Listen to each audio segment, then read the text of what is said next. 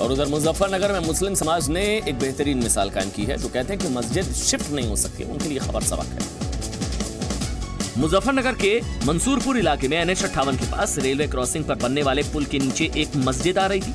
कई सालों से काम अधूरा पड़ा था, लेकिन अब आपसी सहमति से ही ये मस्जिद हटा दी गई है और पुल निर्माण का रास्ता साफ़ हो गया। जिस ट्रस्ट पर मस्जिद की ज़िम्मेदारी थी, उसे मुआवजे के तौर पर छत्तीस लाख तिरपन हज़ार रूपए दिए गए हैं। की बात है कि पिछले 10-12 वर्षों से जब से नेशनल हाईवे बना है, एक इमारत है, उसकी वजह से दूसरा पुल नहीं बन पाया। आपको बता दें कि अयोध्या में राम मंदिर निर्माण को लेकर हिंदू समाज मुस्लिमों से ज़मीन आपसी सहमति से देने की मांग कर रहा है। लेकिन All India Muslim Personal Law Board ने साफ़ कर दिया कि मस्जिद किसी और जगह शिफ्ट नहीं हो सकती।